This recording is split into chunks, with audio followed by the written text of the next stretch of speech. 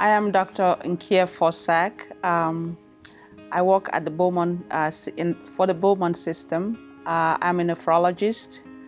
I work with a lot of uh, hypertensive uh, diabetic patients with kidney problems.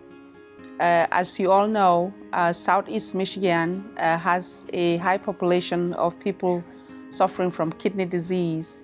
And these people have a lot of health issues, and it is my goal to make sure that they have somebody who is on their side and I try to keep them healthy for the most part. Thank you for choosing Beaumont Health.